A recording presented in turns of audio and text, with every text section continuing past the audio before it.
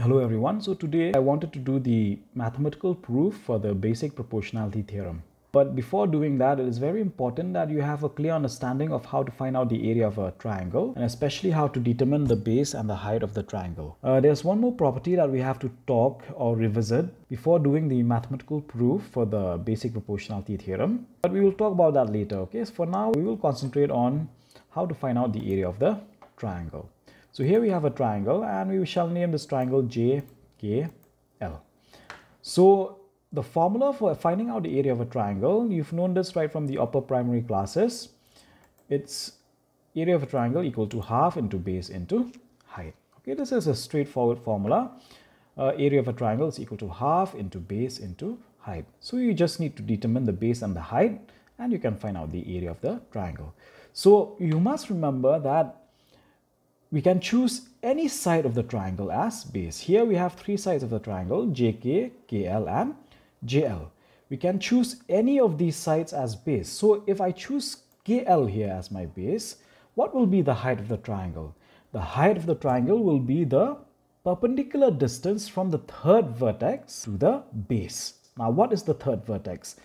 Every triangle has three vertices. In this case, we have vertex J, vertex K and vertex L, right? Now this base KL has already taken up two vertices K and L. So the third vertex is J. So that is the third vertex, which means that if I choose JK as base, then the third vertex will be L. And if I choose JL as base, then the third vertex will be K.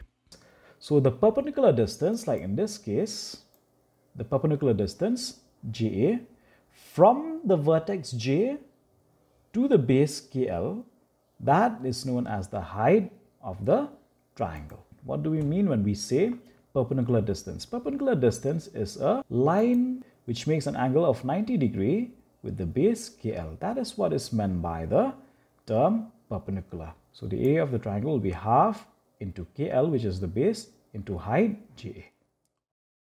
What if I choose JK as base?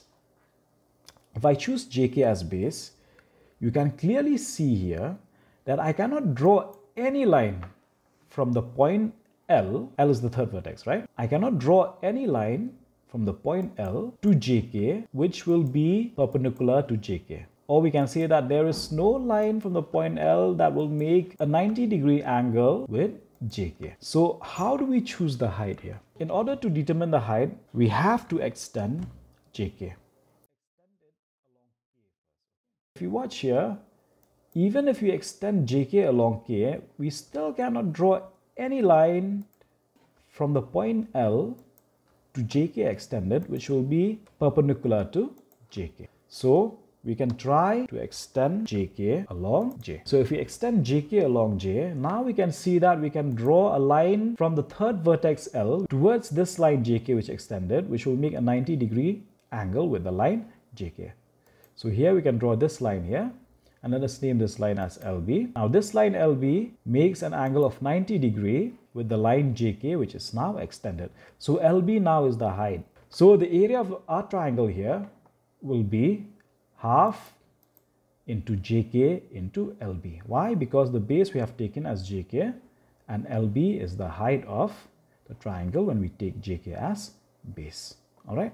So what I want you to do now is to pause the video, try to find out the area of a triangle if we take JL as base. Remember that it doesn't matter if you get it right or wrong, all right? What is important is that you've tried and that is learning, okay? So let us see here. If you take JL as base, then our third vertex will be K. We cannot draw a line from the point K which will be perpendicular to JL Okay, so what do we do? We have to extend JL. We can see that if we extend JL along L, we still cannot draw a line from the point K, which will be perpendicular to JL. So what do we do? We have to extend JL along J. If we extend JL along J, we will get this line here, which is perpendicular to JL extended. And we shall name this line as uh, KC, or you can name it as anything that you want to name it, it doesn't matter but I'll name it as C. So I have this height KC here.